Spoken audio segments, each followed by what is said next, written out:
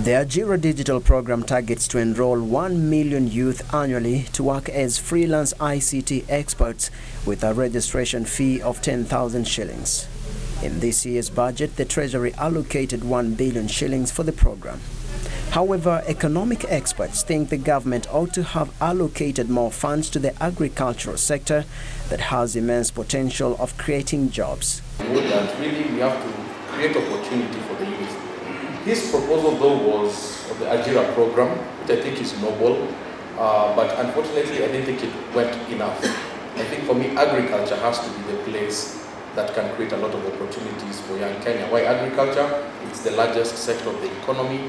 Um, it has the ability to hire the most young people. My view, and I say it several times, we should close down NCPB and begin to allow the private sector to produce sufficient food so that we have food security.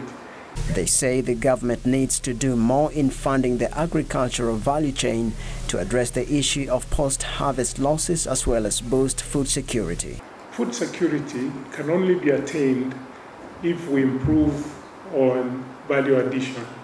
I say this because the wastage, uh, post-harvest waste, is around 30 to 40 percent.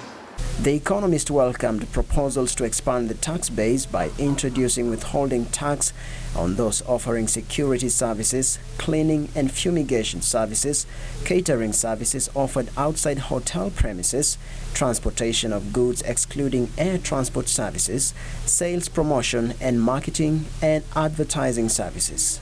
We're putting so much money into a sector when we can't control um, the wastage that we get.